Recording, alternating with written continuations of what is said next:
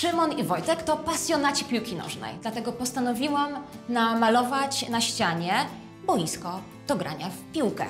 E, chłopcy mi w tym pomogą, ponieważ pomalowaliśmy wcześniej ścianę farbą tablicową.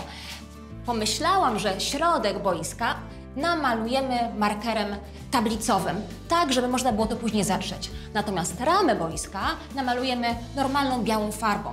Nawet jeżeli chłopcy zmarzą rysunek narysowany markerem, pozostanie ładna dekoracyjna ramka. Chłopcy oklejają, a ja Wam powiem, jak to robimy. Zaczęliśmy od tego, że wyznaczyliśmy piony i poziomy, stworzyliśmy naszą laserową poziomicą ramę, którą chłopcy teraz oklejają. My mamy poziomicę laserową, ale Wy możecie użyć, przepraszam, najzwyklejszej poziomicy bąbelkowej. Rama będzie namalowana farbą tablicową. Pamiętajcie, żeby taśmę zrywać po chwili, po kilku minutach od malowania. Nie czekamy do całkowitego wyschnięcia farby, bo wtedy można zrobić to bardzo niedokładnie. Czekaliśmy dokładnie chyba 3 minuty. Farba jest jeszcze delikatnie wilgotna, jak ją zrywamy. To gra w piłkę nożną. Ręka do góry.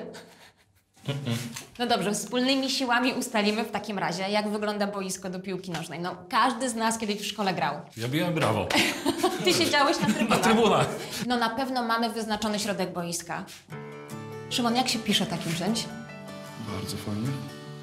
Do narysowania koła przyda Wam się linka i dodatkowa para rąk. Artysta.